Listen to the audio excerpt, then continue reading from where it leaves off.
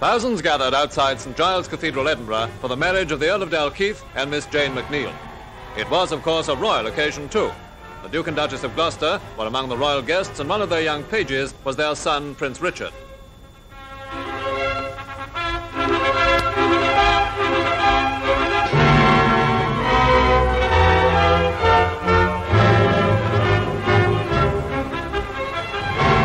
Making her first appearance in Scotland during coronation year, Her Majesty the Queen, a radiant figure, was accompanied by the Duke of Edinburgh and Princess Margaret.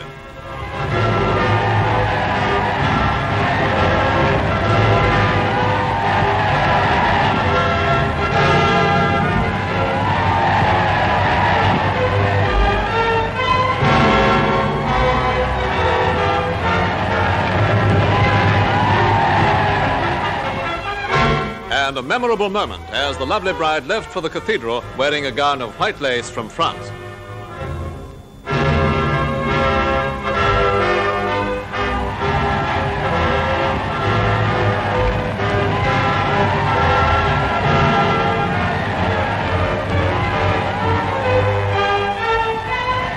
Looking like some lovely figure of Dresden china, the bride wore a waistline tulle veil held in place by a diamond hoop tiara.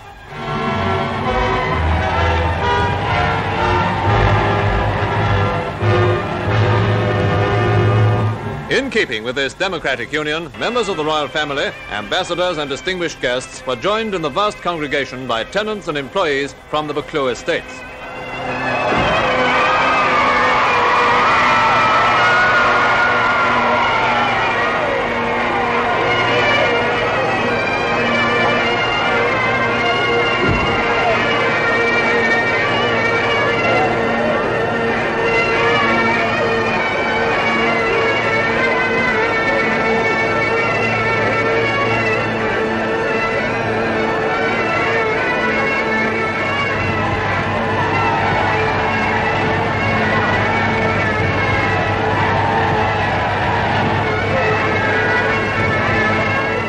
Reception was held at the Assembly Rooms, and the young couple will always look back with pride on this, their happiest day.